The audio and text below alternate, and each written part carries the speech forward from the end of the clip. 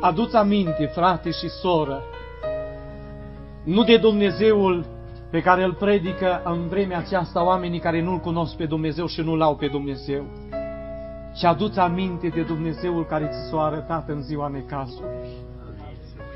De Dumnezeu care a vindecat cancerul în casa ta. De Dumnezeu care te-a scăpat din gheara morții, din nenorocire. De Dumnezeu care ți-a purtat de grijă și care te-a scăpat și care te-a izbăvit și care te-a întărit și care te-a ajutat până în ziua de azi.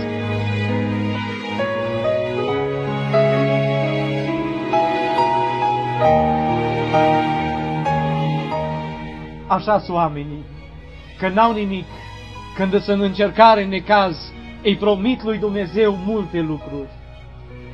Când o duc bine, când au de toate, nu-și mai aduc aminte de tot ce i-a promis lui Dumnezeu. Credeți că de ce zice cartea Apocalipsei, întoarce-te la dragostea din tâi? Fiecare biserici îi spune, întoarce-te la dragostea din tâi. Unei biserici au zis, faptele tale de pe urmă sunt mai multe ca cele din tâi. Adică mai mult mergi la evangelizare. Mai mult vizitezi orfanii, văduvele, faci mai multe fapte. Dar o zis Dumnezeu, nu-s mulțumit. Eu am un of pe care l-am în inimă, nu mă iubești ca la început. Și asta pe mine mă doare. Nu mă impresionează tot ce faci. Nu mă impresionează mulțimea faptelor pe care le faci. Pe mine mă doare că nu mă iubești ca la început.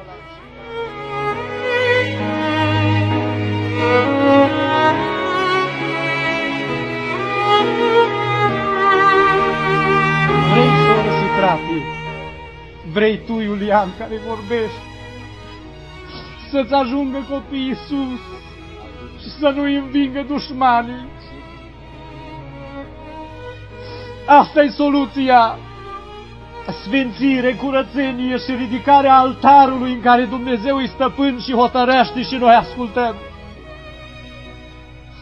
Să-ți aduci aminte de Dumnezeu nu de azi, poate pe care îl slujești după formele moderne pe care le-au inventat oamenii, ci de Dumnezeu care te-a vindecat, care ți-a arătat în ziua necazului.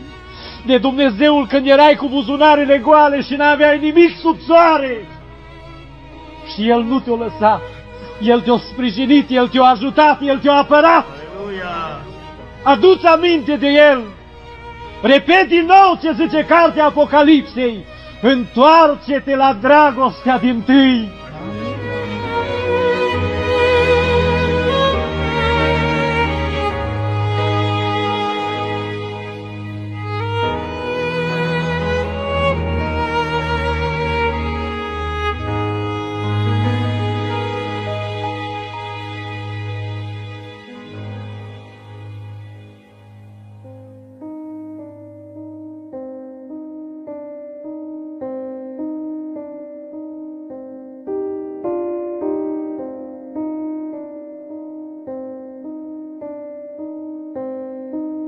Ce era în dragostea din tâi? Spuneam și la noi, am zis în dragostea din tâi când intrai în adunare.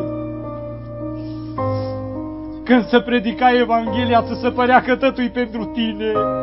Azi când intri în adunare, ești foarte specialist. Asta e pentru ăla, asta e pentru ăla, asta e pentru ăla, pentru tine nu-i nimic, pentru casa ta nu-i nimic.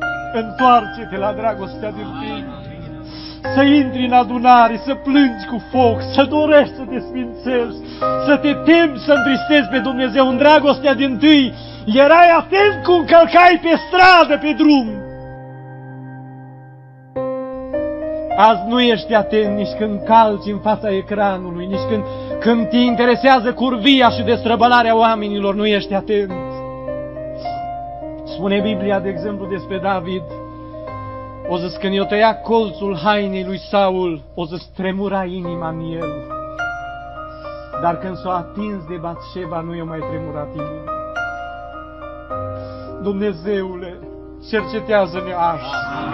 Uită-te la starea în care suntem, uită-te la situația reală pe care o vezi tu în viața noastră și ajută-ne. Ajută-ne să ne întoarcem la dragostea din tine. Nu să ne aducem aminte și să spunem, la noi Domnul a făcut lucrări, ci să fim cu Dumnezeul care a făcut lucrări și azi. să ne aducem aminte de juruințele pe care le-am făcut în ziua necazului și alea să fie vii și azi în viața noastră și în familia noastră.